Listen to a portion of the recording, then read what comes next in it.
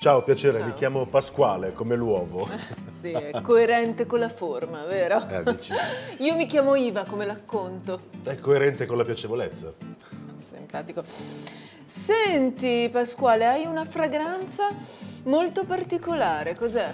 No, è che lavoro in una stazione di servizio, uso la benzina come dopo barba, disinfetta e rilascia un profumo di maschio, molto virile. Certo, beh, volevo accendermi una sigaretta, magari evito. Eh, eh no, certo, se no facciamo la fine dei Fantastici 4, io faccio la torcia umana. ecco qua la donna invisibile.